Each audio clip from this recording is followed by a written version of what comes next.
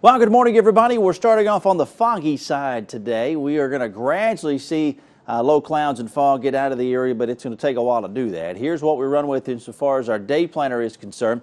Uh, 67 or so by 10 o'clock this morning. We'll be close to 70, most folks by noontime. And then we top out uh, in the, we'll call it mid 70s. Again, of course, sunset taking place a lot earlier, so temperatures will be on the decline as we get you towards 5 o'clock. Here's seven day.